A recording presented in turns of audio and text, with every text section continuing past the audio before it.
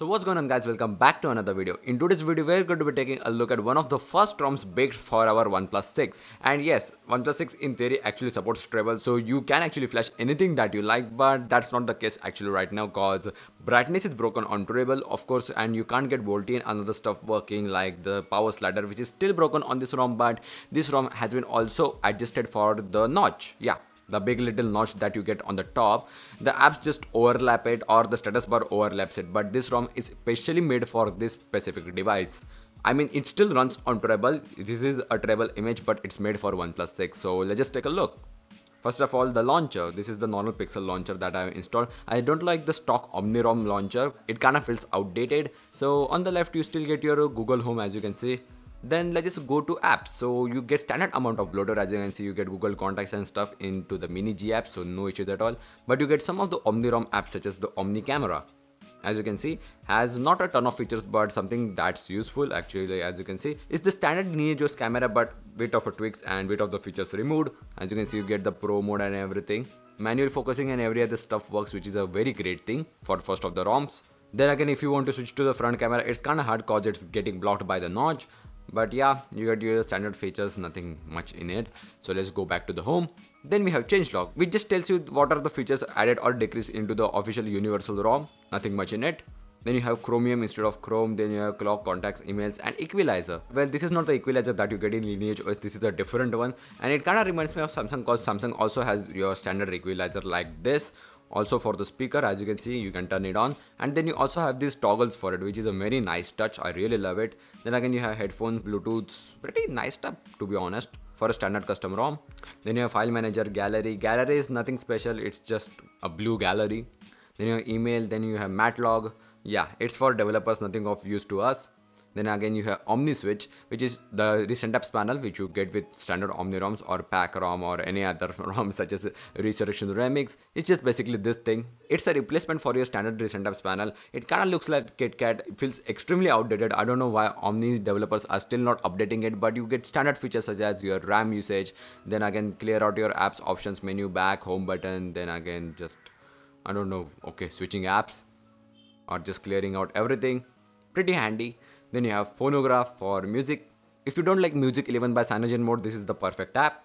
And then we have Photos, Play Store and YouTube. Nothing much in that, so let's just go to the settings. At first you get OmniGears. Now let's just take a look at the other features first of all. So let's just go to battery. You still get your standard battery features. There is no battery percentage, but you can enable into the OmniGears which is a nice thing.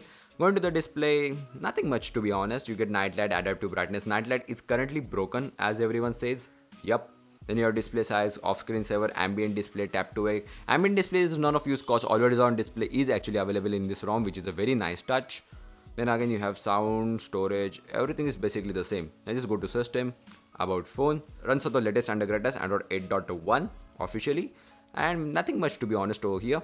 So let's just go to the Omni Gears. Now you get standard features over here. There are no advanced features such as adjusting the number of quick settings that you get up top. So yeah, pretty handy features just baked into this ROM.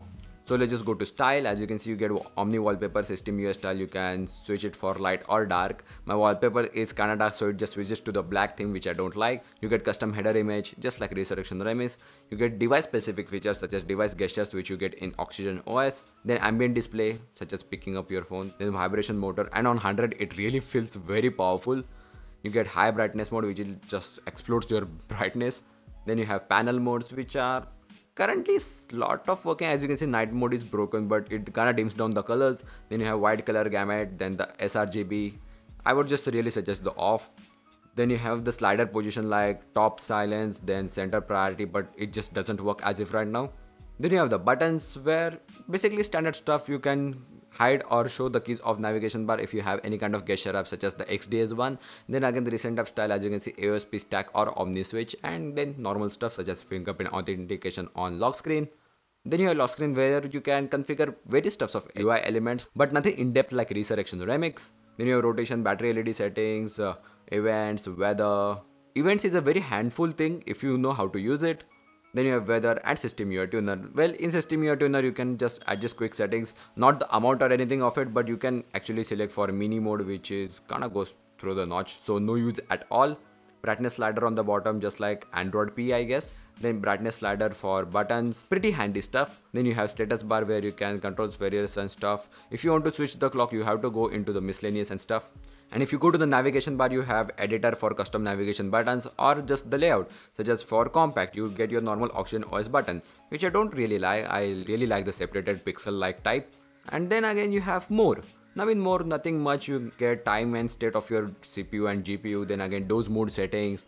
And yeah that's basically it. And for quick settings panel this is your stock Android 8.1 quick settings panel and you get quite a lot of features over here such as picture in picture. I don't really think that it's working as if right now. Let's just try.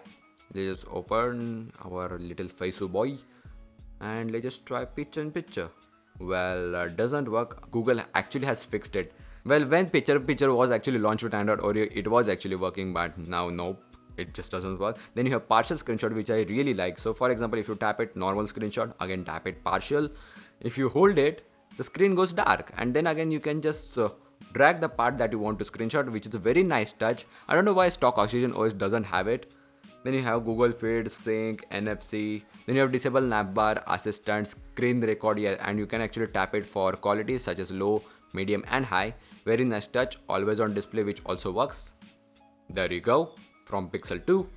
Then you have Caffeine which is just like DND, then pick notifications, voice assistant which is the standard Google one, high brightness mode which could be handy if you just keep it right there or network and panel modes which is just none of use as if right now. So yeah that's pretty much it. And for installation of this specific ROM I'm not going to show as if right now cause it's kind of running on treble and it's not that easy to get this ROM up and running. So I will leave a link in the description for the actual project. You can follow it if you have the adequate knowledge. And if you want more videos on OnePlus 6 such as after 8 and Asus ROG phone those phones like literally scored 300k easily on Antutu benchmark. And then again OnePlus even bumped up OnePlus 6 to 289 but 300k is a very sweet spot. So developers were finally able to achieve that number. And if you want to know how please subscribe down there. And see you in the next one.